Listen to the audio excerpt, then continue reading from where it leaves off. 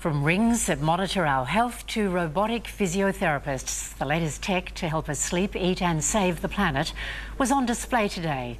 Gemma Acton has the details on how these new devices can improve our lives. Good afternoon. Today, entrepreneurs and technology enthusiasts who are building products to help improve our and the planet's health gathered at the preview for Singularity University's annual Australian Summit. I'm excited about a future of perfect knowledge. So imagine in the next 10 years you can know anything, anywhere, anytime. The team at PostHarvest is working on the multi billion dollar global problem of food waste, with products to track how quickly fruit and vegetables ripen and then go off.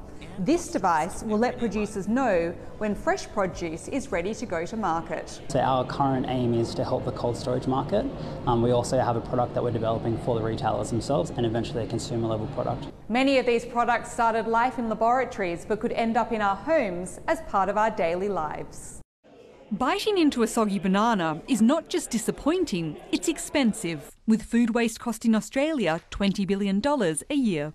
This unit knows when fruit is ready to hit supermarket shelves, and there'll soon be one for our homes. It would let you know, you know, when your apples are ready to be eaten or if they've already gone off. The system was on display at SingularityU Summit Preview today, where technology enthusiasts gather to solve global problems. In a post pandemic, tech savvy world, showing up in person can seem like a thing of the past.